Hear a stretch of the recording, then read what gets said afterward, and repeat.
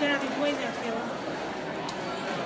Sorry, sorry. Why don't You go on that side, Jay. Get it. Go on that side and get it. Sorry, go.